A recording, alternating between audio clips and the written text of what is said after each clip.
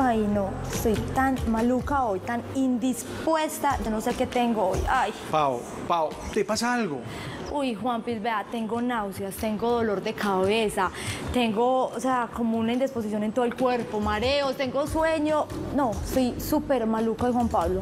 Pau, no me digas que por fin, después de tanto tiempo de estarte preguntando que los hijos, ¿para cuándo estás en embarazo? Juan Pablo, no, es por la resaca que tengo de tanto trabajo después de Feria de Flores, por favor, no, no, no. Tranquilo, Juan Pablo, hasta allá tampoco.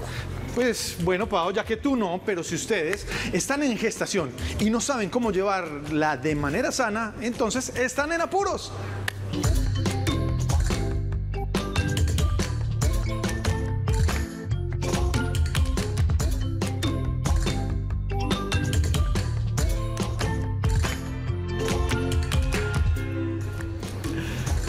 Estamos en apuros y bueno, yo por un momento eh, pensé que Pau nos habías dado la gran noticia del embarazo. No, Juan Pablo, todavía no, pero hoy sí tenemos un tema muy importante para tratar, pero usted no se me preocupe tanto porque yo sé que nuestros televidentes extrañaban el programa, pero sé que estaban muy conectados durante la semana pasada con el magazine de la feria y acá tenemos un trovador, pero un trovador ¡Ey! tardío. ¿Trovador de qué? ¿Trovador de ¿Trovador cosas? de ¿Trovador qué? de qué? O sea, yo sé que nuestros televidentes que están viendo y que siempre están conectados con En Apuros, la semana pasada estuvieron conectados con el magazine y vieron a mi querido compañero de seda, Juan Pablo, trovando. Juan Pablo, no voy a empezar este programa y la temática ni los invitados hasta que usted no me haga una trova y me enseñe el baile. Pues a ver, de, de trovador, pues ¿cómo sale? Eh, Yo me llamo el trovador tardío porque me demoro mucho en responder la trova, pero algo así de trovador, en trova sencilla diría así, como que en cuestiones de paternidad, yo sé que no somos los más duros, por eso presentamos este programa que, se, llama En Apuros. ¿eh? Ay, más o menos, más o menos. Bueno, y el baile, y el baile. ¿Cuál El que, le- que es así. Ah, pues que ese es el baile del Backpack Kid. Y esto pega con lo que sea. Usted quiere bailar merengue. Una salsa. ta, ta, ta, ta, ta, ta, y Bueno, eso Juan combina Pablo. con todo. Pero bueno, qué alegría de nuevo volver a estar con ustedes acá en nuestro programa En Apuro. Sabemos que la semana pasada nos estuvieron extrañando un poco, pero bueno, llevamos toda la programación de la Feria de las Flores y hoy vamos a tener un tema muy importante que se trata de esa gestación sana, de todas esas inquietudes que pasan cuando de pronto ya empezamos ese proceso de gestación y cuando son primerizas, qué pasa. Y vamos a tener unos expertos en este tema. Vamos a tener un médico ginecobstetra que nos va a ayudar con esto. Pero además, a partir de hoy empezamos unos días temáticos. Así es. Hoy es lunes, lunes. De no, lactancia, es muy fácil. L con L. Todos los lunes en Apuros estaremos teniendo un bloque para hablar exclusivamente de lactancia, consejos, eh, tips y cosas claves que parten de la experiencia de cada una de nuestras invitadas expertas en el tema. Los martes será martes de manualidad. Tendremos niños, niñas que van a estar aquí en nuestro set haciéndonos manualidades o también personas, eh, padres y madres muy Así habilidosos que nos van a enseñar a hacer algunas cositas. El miércoles va a ser mi día favorito porque vamos a tener miércoles de mecato. Y a mí que Eh. me encanta mecatear, entonces ahí fue. Nosotros le decimos mecatear, pero en realidad serían loncheras saludables, alimentación sana y esas receticas que uno necesita tanto porque a veces uno no sabe qué hacer si uno se las quiere hacer fácil y nutritiva. Uno a veces, ay, pero ¿qué hago si solo tengo harina, si solo tengo mecato, si solo tengo paqueticos? Entonces será entonces miércoles, de Miércoles de mercato. mercato. ¿Y los jueves de qué serán? Y los jueves, por supuesto, por supuesto, jueves de juego. ¿A usted que le encanta jugar, Juan Pablo? Eh, así es, porque ya lo hemos aprendido en nuestro programa que a través del juego podemos enseñarle valores, disciplina y muchas otras cosas para no solo disfrutar, sino también compartir en familia. Entonces, esos serán nuestros contenidos en apuros, aparte de los temas que desarrollaremos día a día. Hoy, entonces, gestación sana. Bueno, y la invitación es a que si ustedes en casa tienen esa receta saludable para miércoles de o tienes algún juego, nos pueden escribir en la tribu, pero también nos pueden mandar un mensaje, un correo electrónico y ahí muy atentos vamos a estar eh, recibiendo esos mensajes y acá los vamos a tener o esos videos que nos hagan en la casa. Por el momento les cuento que les tenemos preparado un video de una niña muy talentosa, Mariana, que es trovadora. Veamos.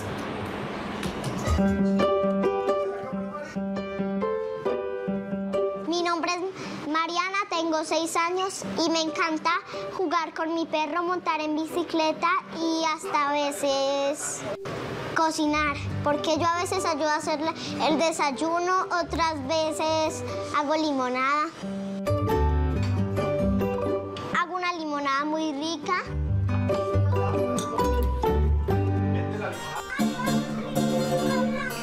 Mi perro se llama Jack. Tiene ocho meses. Meses, no, no tiene años. Eh, lo conseguimos en una camada. Era el único macho y con las manchitas así. Eh, la, la raza es con las orejitas para abajo, pero él, pero él mantiene una abajo y otra arriba. Yo lo beso, lo sobo, se me acuesta encima, yo lo vuelvo a sobar, le doy besos, lo sobo, le hago de todo. Esta es una sencilla y se la canto a papá porque él me la enseñó y lo amo de verdad. Yo digo que él me la enseña, aunque lo digo otra vez, pero amo tanto a papi que no sé ni qué decirle, ¿Qué fue eso? ni qué decirle. Yo me considero una niña muy extrovertida.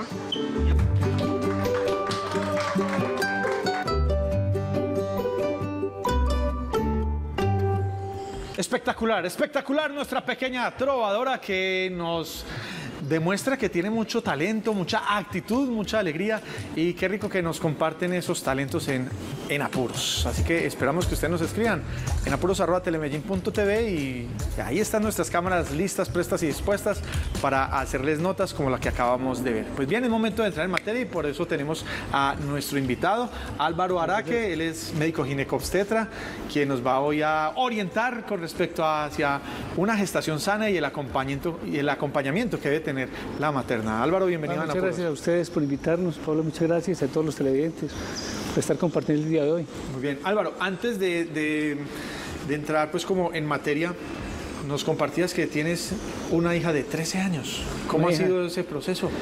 Hermoso, para mí lo más especial que me ha pasado en la vida es ser papá. Un aprendizaje continuo y cada día ellos nos enseñan todos los días a vivir de una forma distinta. Y un apuro que hayas pasado con ella. ¿Alguna situación rara, divertida, compleja? Que, que- Últimamente el uso del celular está bien interesante. Es otro tema a tratar aquí, bien en apuros para papás. el, Sí, celular el que ya El no se celular. quieren El desprender celular, de él. las redes El sociales. uso del celular, algo que para todos los papás hay que estar muy atentos a ese proceso. Muy bien.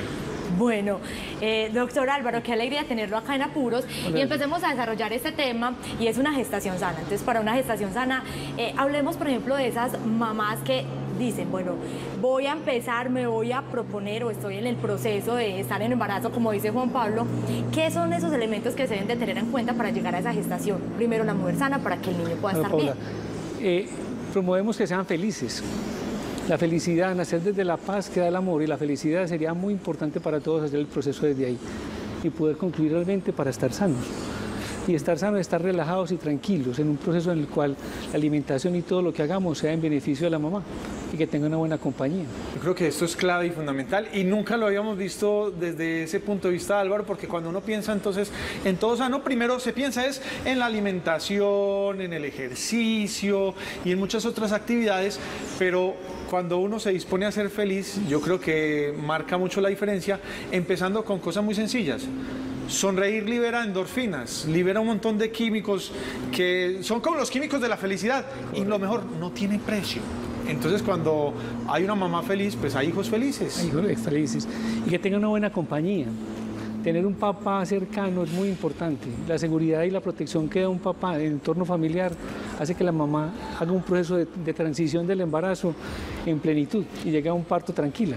¿Cómo debe ser ese acompañamiento? Porque muchas veces entonces solo tenemos los ojos puestos en la mamá gestante, pero alrededor hay una serie de personas, la pareja, los familiares, que están ahí presentes y pueden acompañar esa gestación. Juan, hemos dicho no educar desde el miedo. Siempre vivimos en función de lo negativo. Todo el tiempo estamos pensando en función de qué le va a pasar, en función de la enfermedad, no en función de la vida.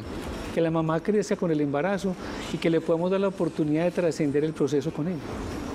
Bueno, doctor, y médicamente, ¿cuáles son esos elementos o esas recomendaciones que usted dice cuando se llegue eh, a ese momento, cuando se tome la decisión de ya quiero ser mamá o ya estoy en embarazo? Médicamente, ¿cuáles son esos consejos eh, que se deben de tener presente para tener ese embarazo también sano? Sí, nosotros decimos que las mamás es, hacemos un ejercicio pues como un, e- un ejemplo, que cogieran un bolso con 10 kilos de peso y se lo prestaran a su esposo y a la pareja y caminaran con él durante una semana. Pues estuvieran haciendo ejercicio con el bolso, con 10 kilos. Cuando lo lleven cómodamente, esa es la condición física para llevar un embarazo físicamente. Desde el punto de vista emocional, muy importante que ellas tengan unos hábitos de vida adecuados, que duerman de forma adecuada, que duerman ocho horas, que trabajen ocho horas y que hagan cosas lúdicas ocho horas. Ahí estarían las 24 horas del día. Y del punto de vista funcional, que puedan alimentarse de forma cómoda y tranquila, comer despacio, lento, comemos muy rápido.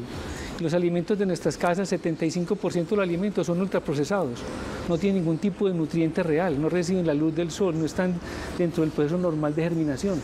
De esos, alimentos están, digamos que, desnaturalizados. Por lo tanto, para crear la vida se requiere primero oxígeno, luego buena, buen agua y un alimento de una forma que, para poder que el bebé crezca. Fundamental eso y algo que tampoco, yo debo confesarlo, yo soy de los que ve los paqueticos y se me hace agua la boca. De los que ve un embutido y ni se diga, por mí comería salchichas todos los días de mi vida. Y qué tanto daño hace, porque pues, si revisamos la información nutricional, pues eh, ahí tienen sus cositas, pero no son como los naturales, los que están expuestos a la luz del sol, como los vegetales y muchas otras cosas que están cargadas de vitaminas y minerales.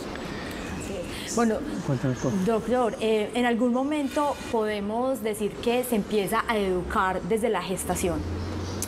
Correcto, se ha visto que el vínculo afectivo es más importante desde el proceso prenatal, más que del proceso mismo cuando empiece, cuando el bebé nace. Los bebés ya nos escuchan desde la semana 14 de gestación, ya tienen capacidad de oír. Y es a través del agua que el sonido vibra y ellos les llegan las vibraciones de los cuales las personas se acercan y con efectos emocionales o afectivos, ellos van creando un vínculo desde el vientre mismo y creamos el subconsciente fetal.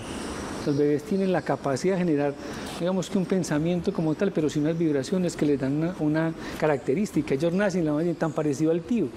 Y pues, miren los gestos que está haciendo, de dónde adquieren esa, esa connotación cultural que nacen, ya tienen un legado que les vamos dejando por herencia es un pensamiento que va adquiriendo también.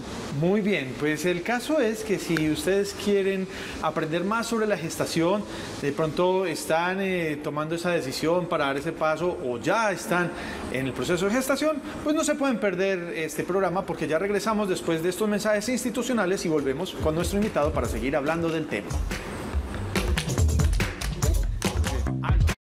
Estás viendo En Apuros.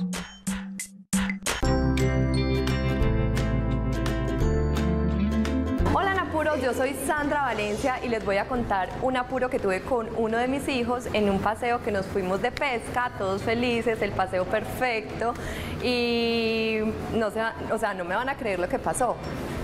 Uno de los niños, el más grandecito, Maximiliano, tiró la varita de pescar y le rebotó en el agua y se pescó el mismo. Increíblemente, en un segundo mejor dicho, no nos dimos cuenta cómo fue que pasó eso y él mismo se, le cayó aquí, gracias a Dios no fue en su carita ni nada grave, pero, pero sí le cayó aquí y yo salí como una loca corriendo, no se imaginan lo que sentí uno de mamá que no puede ver que a sus hijos les pase absolutamente nada pero bueno, gracias a Dios no pasó a mayores, el niño a los 10 minutos ya estaba perfecto, el papá que normalmente reacciona muy mal, reaccionó súper bien, yo sí reaccioné, lo confieso, como una loca, salí gritando y súper asustada, todo el día quedé temblando, pero bueno, no, no fue como nada grave al final, obviamente la sangre es muy escandalosa, pero no pasó a mayores, que es lo importante, y hoy lo recuerdo con muchísima gracia porque mi propio hijo se pescó al mismo. Todos, todos, estos apuros que nos ponen los hijos, me imagino, Juan Pablo y acá el doctor Álvaro que también tiene hijos. Bueno, y venimos hablando de una gestación sana y el doctor Álvaro hoy nos ha hecho, nos ha dado varios elementos. El primero es que tienen que existir madres felices. Las mamás tienen que estar felices para poder dar ese paso y durante ese paso.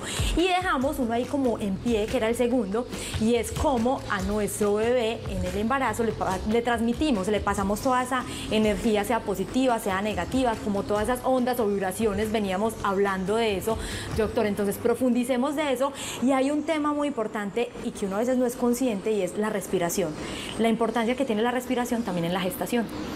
Sí, ve, la mamá se queja mucho de que no está muy cansada que está muy fatigada, que cada día se cansa más y realmente sí, ella fisiológicamente no respira muy bien porque el bebé ocupa unos espacios. Pero la energía que llega de los alimentos requiere del oxígeno para poder hacer energía. Entonces si ella no se concentra y se concientiza de su respiración consciente, es difícil que ese alimento se convierta en energía. Entonces no es consumiendo más que la mamá tiene más energía sino que la mamá consuma sus hábitos normales, sus comidas normales, con una variedad de alimentos suficientes y que pueda a través de la respiración generar esa energía que requiere el bebé para construirse y estructurarse. Creo que Hagamos saber. un ejercicio hagamos de un ejercicio. ¿Cómo sí. sería una correcta respiración, doctor? Sí, no, es, es muy, es relativamente simple. Ajá. Es tomar aire lento, y si quieres lo hacemos, tomas aire lento, Sí, hagámoslo, hagámoslo. lo más lento que puedas. Y cuando llegas al tope, descansas un segundo y vuelves a botar el aire el doble de lento que lo tomaste. ¿Verdad? Y lo botas. Pablo, no. No, porque es que Me me, me acabo de impresionar. Me acabo de impresionar porque uno respira entonces muy mal. Uno siempre es. Y uno entonces no sostiene, y me imagino que si no sostiene, pues el oxígeno que hace, se, pues, se nos perdió. No difunde de forma adecuada porque es muy rápido el proceso, entonces el oxígeno no entra. Y si no entra el oxígeno no se forma combustión, energía. O sea, el doble de lento para soltarlo. Repitámoslo, Ah, repitámoslo. repitámoslo e invitamos a todos los que nos estén viendo, mamás, papás, cuidadores, o sea, tengan hijos, no tengan hijos, para que aprendamos a respirar bien, porque yo creo que esto puede ser una buena pausa activa en medio de todo el día para oxigenarnos. Entonces, Y, doctor, ac- ¿nos- y nos aclarar la mente, y aclarar la mente. O sea, cuando estás consciente de la respiración, se aquieta el pensamiento, que es el que consume más energía a nivel cerebral. Que la mamá está todo el día pensando cosas y cosas que le llegan información. Aprender a respirar, aquieta la mente, equilibra su, equilibra su estado mental, su energía se desgasta menos y el bebé requiere toda esa potencial que ella tiene. O sea, que el bebé podría crecer mucho mejor. Y si no se aclara la mente, disparamos a la loca de la casa. Correcto. Y cuando me refiero a la loca de la casa, no es a la esposa, no es a la, A la suegra, no es a la mamá, no, es la mente que, que nos pone. Entonces, ¿qué tal, doctor, si nos vuelves a guiar? Entonces, tomamos aire lento, inspiración profun- lenta y profunda. Hacemos una pausa al final de la inspiración y botamos el aire el doble de lento que lo tomamos y paramos un segundo otra vez apenas terminemos la expiración. De forma lenta. Uy, pero sí es complejo, doctor. O sea, soltar la respiración mucho más lento. La, capaci- la capacidad complejo. física de un ser humano la podemos medir por su capacidad pulmonar. Ah, no, entonces estoy llevada. Entonces la condición física se refleja en ese estado. La idea es que el ejercicio de hacerlo consciente mucho. te genere toda esa tranquilidad. No, no van a creer lo que sentí. Veníamos como de- del chiste, de la entrevista y eso. Yo venía como con el corazón muy acelerado. Y solo con estas dos respiraciones, como que las entré como en una calma, como que ah, Sencillo. ve, me puedo estabilizar un poco. Genial, entonces este tip, eh, doctor, que nos compartes y que hay que tener muy en cuenta. ¿Qué no debe hacer una madre en proceso de gestación? ¿Qué debe evitar? ¿Qué evitar? Digamos que primero el afán. Hay mucho afán en las mamás ahora. Ellas trabajan, estudian, son mamás y atienden a sus, a sus parejas. O sea, tienen demasiadas ocupaciones. Entonces se sienten lentas porque el embarazo las pone lentas. Entonces, pero es una condición especial porque el embarazo la lleva a que se centre en sí misma, que ella sea el centro de todo para que el bebé reciba toda esa información. Entonces, tener paz y tranquilidad, que es un espacio de tiempo, que se lo vivan, que se lo gocen. No es un proceso de, de tener un bebé como comprar una camisa, no. Es una vivencia personal para crecer. Qué bonito esto. Bueno, eh, doctor Álvaro, no lo puedo dejar ir sin que nos explique y nos cuente ese ejercicio que usted hace en sus talleres eh, como médico y es baby sitting. El, El baby, sitting. Sí, nosotros buscamos que la mamá y la familia se sienta alrededor de, de todo ese, de toda esa pareja para que ellos sientan su presencia. Entonces llevamos la ecografía lúdica a la casa en un cine, colocamos sonido y presentamos el primer viaje de nuestra vida. Mostramos la importancia del proceso de nacer, de vivir, para que las mamás se sientan admiradas de lo que están así viviendo y lo puedan cuidar como lo más preciado de ellos, sus hijos. Sabe que es muy curioso, Juan Pablo, no sé en su experiencia, pero eh, antes como con las ecografías eran muy celosos, solamente entraba como la mamá y si mucho el papá lo dejaban entrar, pero ahora lo que se propone es, hey, entre la mamá, entre el papá, pero también la abuela, si están los niños, los hermanitos, para que todos puedan recibir como a ese bebé con toda la alegría, con toda la alegría y le pasen como que le transmitan eso tan positivo. Las, las mamás que han tenido la experiencia es, es una fiesta de la vida. Se vive en la vida y en el proceso. Las mamás sienten que están haciendo lo más importante, que la sociedad les retribuya a ellas todo lo que están haciendo por ellos, por darle hijos a este país. Bien, doctor, un mensaje final desde tu experiencia, algo que tú le quieras decir entonces a las madres estantes o que aún no han tomado la decisión pero esperan hacerlo pronto y a las familias que nos están viendo. que es la mejor experiencia que tenemos de ser papás, que dar la vida por otro ser humano es lo mejor que recibimos. Porque a cambio de eso están ellos que nos retribuyen todo el día con sus cosas, su crecimiento y que realmente para los que somos papás ha sido lo mejor que nos ha pasado en la vida. Doc, ¿y dónde lo pueden contactar? ¿Dónde pueden estar ahí pendientes? En seres, arroba seres mujer en Instagram y en el 302-456-1413. Ahí estaríamos dispuestos a atenderlos. Bueno, doctor, muchas gracias por acompañarnos en Apuros y a ustedes los invito a que veamos esta tertulia entre mamás. Hacemos la aclaración que esto lo grabamos antes de la pandemia, entonces por eso están ahí sin tapabocas, pero queremos eh, mostrarles esta nota tan bonita que construimos.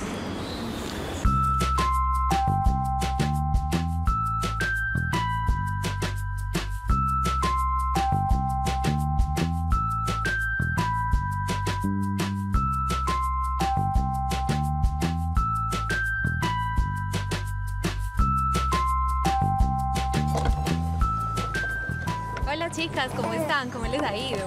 Muy bien. ¿Y tú cómo Súper estás? bien. ¿Y tú cómo estás? Súper, muy feliz con mi nene muy grandote, pero con esto de la lactancia, ¿cómo les ha ido? Súper, ahí vamos. Es muy duro, pues yo pienso que tenemos que enfrentar a veces demasiados mitos que nos transmiten de todas partes, ¿no les parece? Demasiado. Por ejemplo, uno que me tocó mucho fue el del hinojo. Todas mis tías de la niña, mi mamá me dan hinojo todos los días una jarra.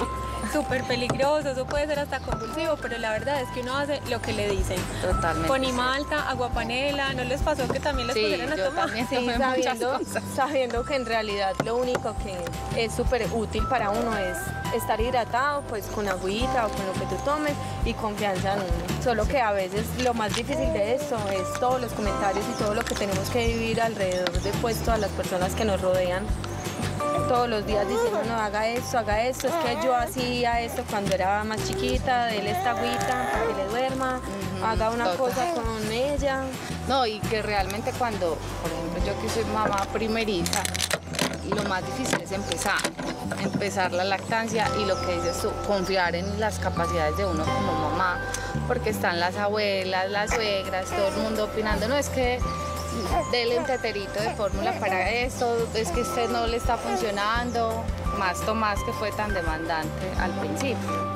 Sí, no, la industria de ahora ofrece muchos, eh, muchas fórmulas y todo. Y por ejemplo, a mí me tocó un caso con ella que es intolerante a la lactosa. Entonces yo al principio caí pues como en el error de darle fórmula porque era la solución inmediata.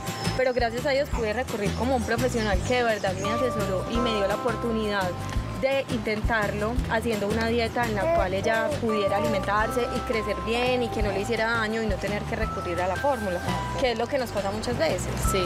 También dicen muchísimo acerca de los mitos, el tema de la alimentación de la mamá, que no comas Ah, repollo, que no comas brócoli, que no comas frijoles, que hay alimentos que les hacen daño. Pues yo pienso que realmente ahí uno debe valorar es la opinión de los profesionales, de los pediatras, que sean realmente los que diagnostiquen, porque si no, te vuelven loca.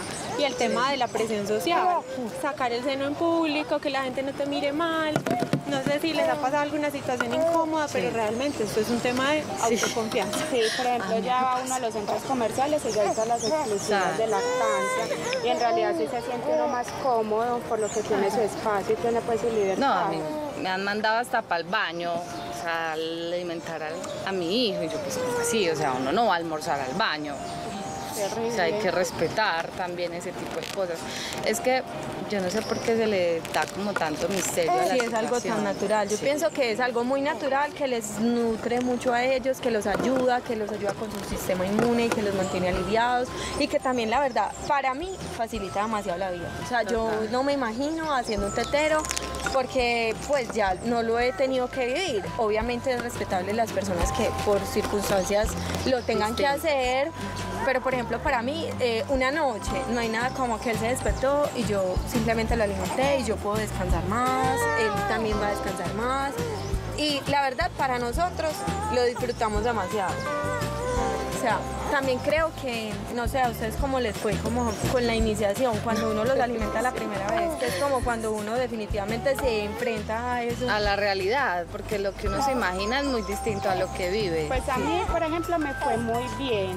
A veces sí que es lo aburría a uno, que la presión de las personas le decían a uno, "Ay, pero tu leche no la está llenando, debe ser que no te está saliendo lo suficiente, entonces empieza uno como a dudar, empiezo a darle leche, pero era muy charro No, porque realmente, yo me extraía leche yo- y me salía mucho, entonces yo decía, pues, Yo pienso que lactar no es fácil. No. Y es de mucha paciencia, dedicación y creer en uno mismo. Y de tener mucha información, estar acompañado de quien también le guste, también lo haga, que lo disfrute, porque cuando uno siente la confianza de otras personas que también lo hacen, para uno es más fácil. Total. Por ejemplo, no sé ustedes cómo les fue con la mastitis o no les dio... Pues realmente no, no nos dio, pero sí conozco pienso que lo mejor que pueden hacer es la extracción, o sea, poner el bebé a que les ayude a descongestionar y muchísima agüita, muy buena hidratación y si se complica, si hay fiebre, acudir al médico porque realmente es un cuadro muy doloroso. Por ejemplo, yo sí no lo viví al punto de llegar a la mastitis, pero sí estuve como un poquito pues como congestionados los senos porque al caer en lo de la fórmula, cierto, tenía mucha producción y a mí me ayudó mucho, por ejemplo, las hojitas de repollo, meterlas en la nevera y bañarse a uno con agüita caliente que le caiga, eso ayuda a descongestionar mucho pues como para uno tratarlo en la casa antes de tener que llegar al médico cuando ya se vuelva una urgencia, pues como más. No, y es doloroso. Es muy doloroso. Definitivamente, chicas, yo pienso que esto de la lactancia es de autoconfianza, apoyo entre nosotras, muchísima hidratación y asesorarnos de las personas correctas. Sí, totalmente Qué rico volverlas a ver, espero que nos encontremos pronto, esos nenes están hermosos. No, y un placer, cuídense mucho. Igualmente, Muchísimas chao. gracias. Y volveremos a compartir con nuestros niños en los parques y a ver sus sonrisas y a disfrutar de las tertulias con las demás personas que comparten la paternidad. Pues esto, eh, esto fue grabado antes de, la pandemia, entonces por eso están sin tapabocas y están ahí muy junticas nuestras mamás. Pues bien, ¿Por qué presentamos este video? Pues porque hoy en lunes de lactancia tendremos una invitada en breve, una invitada muy especial que, con la que estaremos viendo las posiciones más adecuadas para gestar. Pero mientras les tengo las curiosidades sobre la gestación.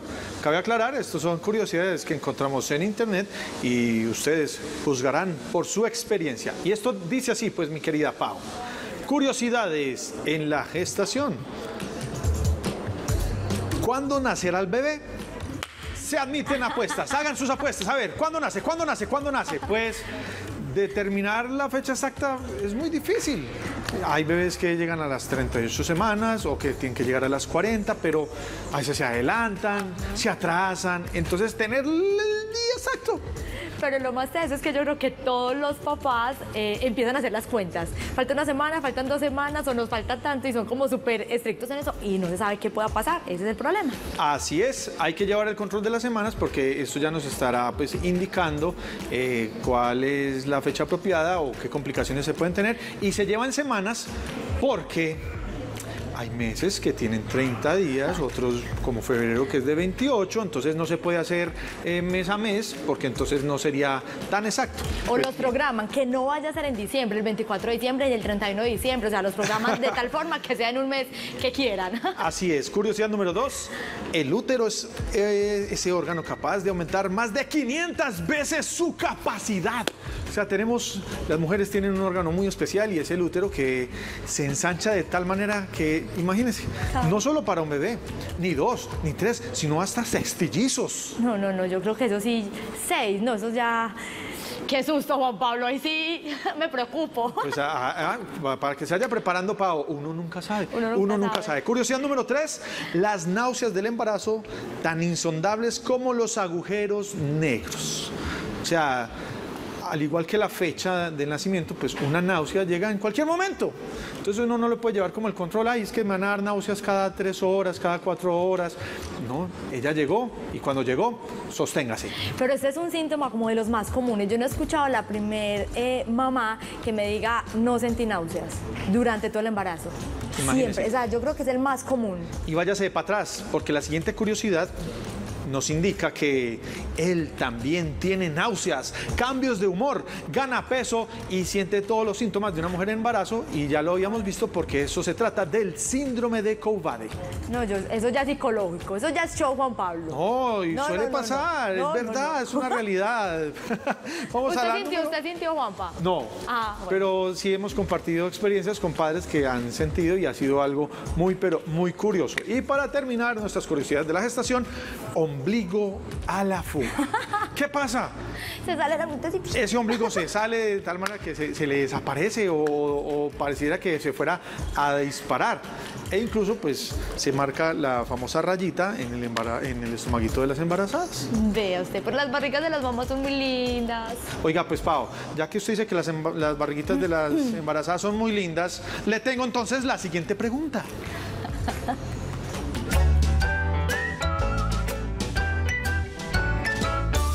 Pau, ¿y los hijos para cuándo, pues? Ay, Juan Pablo. ¿Sabe qué? Se lo va a responder pues con rima. Hágale. Vea, Juan Pablo, una cosa yo le voy a decir. Yo un hijo sí voy a tener, porque es lo más hermoso que en la tierra se puede hacer. Bien. ¿Y cuándo será eso? Juanpa, en estos días. Muy bien, nos vamos a unos mensajes institucionales y ya regresamos para que hablemos de lactancia. No se muevan. Estás viendo En Apuros.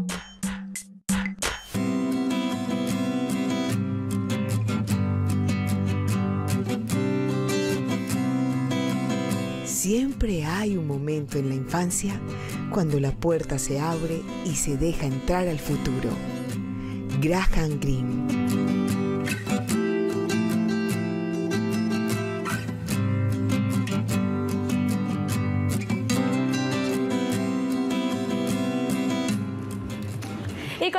En apuros y les habíamos dicho que ya los días son temáticos en este programa. Y hoy es lunes, lunes de lactancia y por eso ya tengo nuestra invitada del día de hoy. Se trata de Juana, de Juana Arbeláez Villegas, ella es psicóloga y además es sexóloga. También es mamá de una hermosa niña, ¿cierto? Así es. Bueno, Juana, bienvenida y con ella vamos a tratar este tema de lactancia. El tema a tratar son las posiciones para lactar. Es que a mí me perdonas la ignorancia, Juana, pero no es una misma posición, o sea, igual no le sale la, le- la leche de la misma manera. Juanpa, no, mira, en realidad yo les quiero contar un poquito como mi experiencia. Eh, cuando nació mi hija Belén, eh, realmente sufrí pues como de una mastitis, los pezones se me agrietaron, me dolía muchísimo. Entonces yo decía, yo creo que yo no voy a ser capaz, yo no voy a ser capaz. Pero yo sabía, como, como yo soy psicóloga, yo había leído mucho sobre la lactancia y sabía los beneficios que traía pues como el lactar a mi bebé y yo tuve como una disciplina y una perseverancia y yo no conocía las posiciones para lactar y un día invité a una asesora de lactancia a mi casa y la verdad ella me cambió la vida porque a, partir del momento en que yo conocí estas posiciones logré una lactancia hermosísima y súper tranquila y feliz tanto para mí como para mi bebé. Y yo creo, Juana, que lo que tú te preguntabas o te decías, creo que es la situación de muchas mamás que frente a algún detalle de la lactancia que se puede complicar, como que no, no vamos a poder, esto es muy duro, esto es muy Renuncian difícil. muy fácil. Renuncio y, y tiro la toalla, pero siempre hay una solución entonces para el problema. Exactamente. ¿Cuál fue la solución que encontraste entonces? Bueno, entonces hoy yo le quiero compartir a todas las mamás o las madres gestantes estas posiciones que me ayudaron tanto. Eh, yo utilicé, digamos que esta fue mi mejor amiga durante toda la lactancia. Yo tuve una lactancia prolongada durante 18 meses. Entonces yo cada vez que iba a lactar, yo ponía este cojín entonces, acá tenemos la primera posición, que sería más o menos esta, que es la más cómoda. Acá lo más importante es que los hombros estén totalmente relajados, porque si no, la mamá empieza a acumular mucha tensión y ahí es cuando le da dolores de cabeza y se cansa o renuncia muy fácil, ¿cierto? Esta sería como la primera. Luego venimos a esta, que también es una postura muy, muy fácil cuando ellos están en esta posición. Mira, Pau, para que mires, porque ahorita vamos a hacer ejercicios contigo. Vamos para que se vaya preparando. Esta también es, esta también es súper buena. Pero también se pueden hacer con almohadas en la casa, de la casa normal, ¿no? Claro Pues se puede sí. ir como Sí. armando, no Quien necesariamente tenga la ser- donita, pues quien tenga esta donita, esta media lunita, pues va a ser Bien. muy cómodo porque es, es muy práctica. Es Pero si, si, si no la tiene, pues a, a ingeniársela con almohadas, porque estoy viendo, Juana, una gran ventaja y es que no se está cargando todo el tiempo, sino que se está dejando reposar el peso del bebé, entonces van a descansar mucho los brazos. Exactamente, porque el cargar tanto el bebé es lo que te empieza, lo que decía ahorita, como a tensionar todo eso y ya no estás tan relajada ni tan descansada, entonces te empiezas a fatigar muy fácil. Entonces, posición 1, la La tradicional, posición por, uno, por la así tradicional, decirlo. pero siempre como la espalda, la postura y que los brazos descansen, ¿sí? Entonces acá me da el nivel perfecto para que el bebé tenga el agarre. Y recordemos que el agarre es fundamental para que los pezones no se agrieten y para que haya una buena succión. Y eso depende de la posición, Eso como ponga depende. como el bebé. Exactamente. Eso. Posición 2 ya es como, como Hacia aquí atrás. debajo del bracito, Exacto, también esta también es como si uno fácil. estuviera cargando un melón. Exacto, sí. Podríamos bautizarla la posición cual. del melón, mire. Venga, Esa posición también es melón. muy Y si, rica. tiene, y si tiene dos. Ah, doble melón. Doble melón. Eh, vea, es que es como, es, como, es como le pasaba a un amigo mío que estaba caminando así. Ah, da, tan, tan. Y le preguntamos, Alberto, ¿por qué estás caminando así con las manos así? Es que, ¡ay, se me cayeron los melones! Eh, me voy. No, ya. Chao. Juan Pablo, qué pena. Volvemos a las posiciones de lactancia, por favor. Bueno, acá tenemos otra que también ellos abren los piecitos, ¿sí?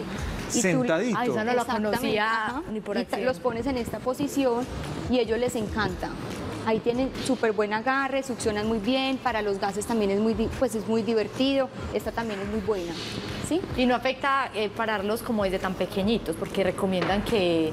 Tú le sostienes acá la cabecita. Ah, Y algo súper importante y especial es la mirada. O sea, recordemos que la lactancia tiene pues como muchos beneficios a nivel nutricional, pero mucho más a nivel emocional.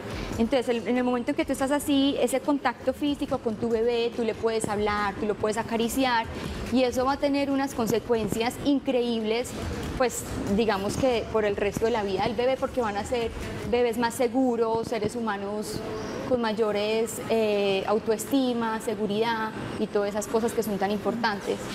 Juana, esta nunca la había visto y considero que es una posición muy importante, no solo por el contacto físico, sino que pues aquí vamos a sacar como hipótesis que el bebé esté un poco inclinado, pues que no esté acostado, pues le facilitará mucho como la, la digestión para que no le dé reflujo, para que no se le devuelva la lechita y para que no se, se Claro y se ahogue. Exactamente, y evita mucho pues como los gases, entonces esa también es súper buena y además, como te digo, el contacto visual es increíble, porque cuando tú estás lactando, tú miras a tu bebé y tú no lo puedes creer como lo que está sucediendo, es un momento demasiado lindo, increíble, que por eso yo soy como tan pro de la lactancia prolongada.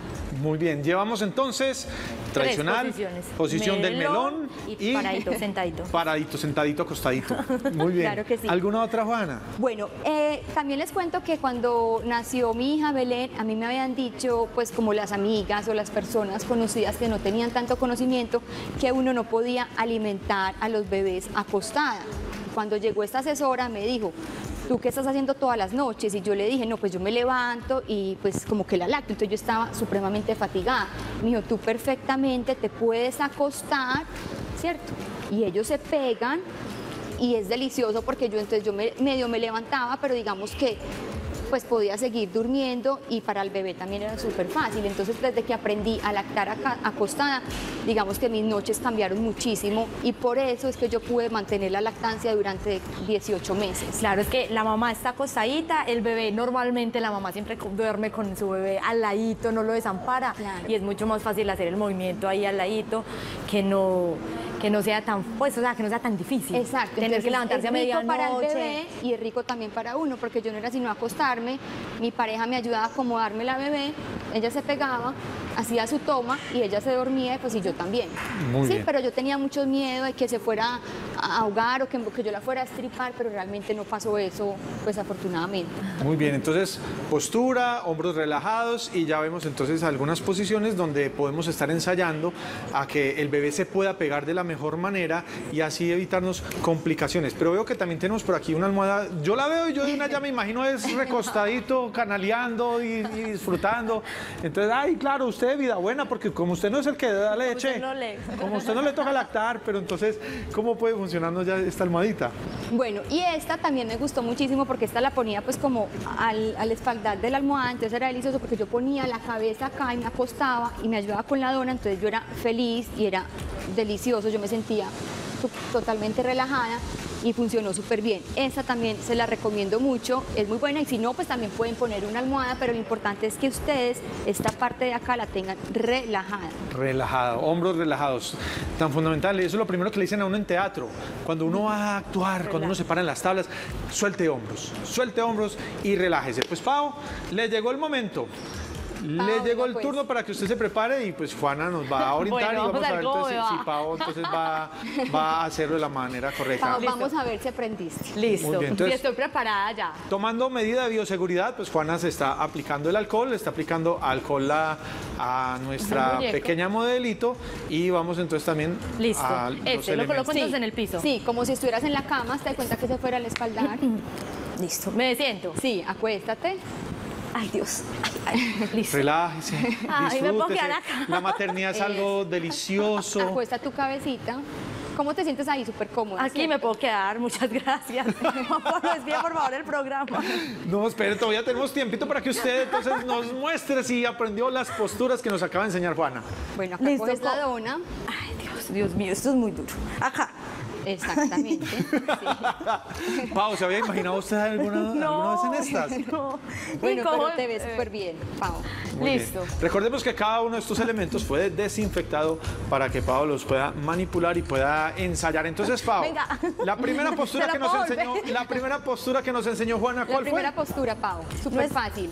Acá las manitos acá, acá, Exacto. así. Y acuéstate. Ah. eh, Eso. Porque si no, si ella se, se pone en la posición en que estaba, ahí es donde va a tensionar todo, ¿sí? Porque como uno tiene el peso del bebé, más tiene que estar mirando el agarre y todo eso, entonces uno termina con esto con una tensión impresionante y ahí es cuando... Listo, entonces esta es la primera. Sí, listo. Así, con la cabecita así. Yo, yo soy el juez aquí de ver, calificando si está cumpliendo con los requisitos para Listo, la primera, chuleada. Posición de melón. Exactamente. La de Entonces tú melón. descansas. Ay, ¿cuál es la de melón? Eh, La del melón. Aquí. Debajo de... Esa, esa es la es, de ah, bueno. Ahí es muy importante verificar Acá. que los piecitos de ellos estén totalmente mío. extendidos, las manitos, tú verificas el agarre y una vez el bebé tenga el correcto agarre, pues tú ya te tranquilizas y te relajas y disfrutas de ese momento tan especial. Oh, Dios mío. Acá es donde pienso, este es uno, donde sean dos o tres. Yo, yo le estoy, di- Ay, no, yo, yo no, le estoy diciendo la posición de melón, pero bien es conocida como la posición del rugby, Del rugby. el balón de rugby. Bueno, en fin. Entonces, listo, esa es la segunda. Ajá. Acá es donde tiene uno conexión con el niño, la mirada. Exactamente, que es tan importante eso. esa mirada porque ahí le transmites con solo la mirada todo tu amor. Listo. ¿Y la tercera? La tercera es paradito. Exacto, le abres las piernitas, ellos abren las piernitas, Chin, chin. ellos quedan sentados, Esta Este niño eh, está le muy- podríamos decir como la posición koala. Este niño está, este niño está muy, muy quieto. Eso. Exactamente, Pablo, estás haciendo súper bien, Pablo. Ya, aprobada, ya, puedo y- ser mamá. Pa- Pavi, descansa, recuéstate. Ah, Eso, ajá. Eso. Así. Entonces ya uno ahí descansa. Y acá sí, lo traigo así, derechito. Listo. Bueno, Pau, yo creo que estás preparada. Ya. Yo creo que ahí ya lo vas reconsiderando y vas pensando y te vas Y la acostada, la acostada. Ya tú Así, estás de lado. dormida, ajá, quitas ese cojín, estás con la almohada normal, tradicional con la que duermes, tú te acuestas y lo y pones el bebé. Pongo el bebé acá al ladito. Exactamente. Ah. Entonces esa es muy rica para las noches. Oh, muy bien. Muy no, no, no, no, no, bien. súper bien Bueno, este taller con Juana. Juana, ¿dónde te pueden encontrar nuestros televidentes a seguir tus redes y, y- y a estar pendiente de tus contenidos? Eh, claro que sí, me pueden seguir en sexualidad.consciente o con el equipo de Lina María Valencia, que Lina estuvo aquí hace pocos días, yo hago parte del equipo de ella, entonces con Así ella es. también me pueden contactar. Con la tribu que lidera Lina junto a muchas otras mamás que comparten estos conocimientos. Juana, muchas gracias por compartirnos de tu experiencia y esperamos entonces tenerte aquí en Apuros más seguidito. Ay, ella sí nos contó un apuro de la hija. Un apuro que haya tenido con... Rapidito, que haya tenido con su hija, Bueno, un apuro fue, precisamente estaba muy cansada y yo pues amamanté a mi hija con un seno y luego la cambié para el otro lado y me dormí y la hija se cayó. Mi Ay. esposo se levantó y pegó un grito que yo pensé que yo no sabía, yo tranquila, pero mi esposo reaccionó y, mejor dicho, un apuro con Belén. Menos mal y por eso es que somos trabajo en equipo. Pues bien, no se pierdan más temas de lactancia el próximo lunes para que conozcamos, porque es que de lactancia hay para hablar para rato y es necesario conocer cosas tan sencillas, básicas y elementales como las posturas. A Juana nuevamente muchísimas gracias y bueno, Pau, nos vemos en un próximo programa en Apuros. Así es, nos vemos mañana. Chao. Chao.